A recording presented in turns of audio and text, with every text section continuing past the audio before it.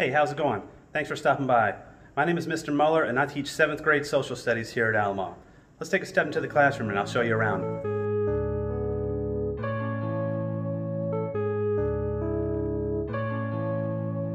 Kathy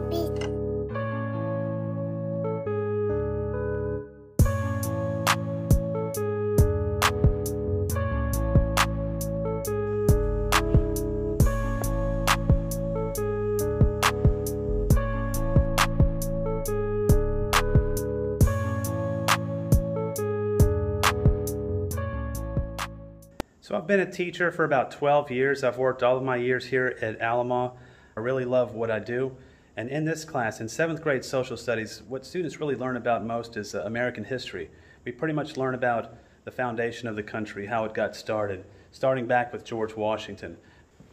You know, a very exciting topic that students love learning about and I love teaching is the American Revolution. This scene behind me of Washington crossing the Delaware is an example of that and one thing that we really study and analyze. Uh, it's a very important war because without it, we wouldn't be the nation that we are today. So, a big thing that we learn about in this class, a big portion of it is um, learning about government and how government works. We learn about the Constitution and the Bill of Rights, and all that's very important because it, it teaches citizenship and it gives them the knowledge they need to be productive citizens and uh, to learn what their responsibilities are as citizens, and overall how our, our legal system works and how government works in general. Another really exciting topic we learn about is the American Civil War. This is one that's one of my favorites. Uh, students love learning about it. I bring in artifacts. We can really look at some of the things that soldiers touched, what they felt. I love finding new ways to engage students and creating an atmosphere that really makes it inviting and one that they can really gain, if not a love for history, at least a deeper understanding and a respect for it as well.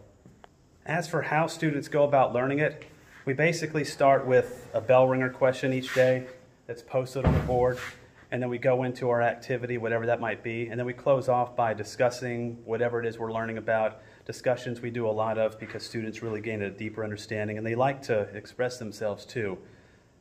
I do weekly assignments for at home learning. It's usually posted on Monday on Google Classroom and it is due by midnight on Friday. It's not overwhelming, it's usually something to enrich what we're learning in class, and students can usually get it done in about 30 minutes. All right, so that's that. Thanks for stopping by. If you need anything, shoot me an email. Uh, you can call the school and I'll get back to you as soon as I can. Oh, oh, and don't forget, give this video a thumbs up, drop a like, and comment. Y'all take care.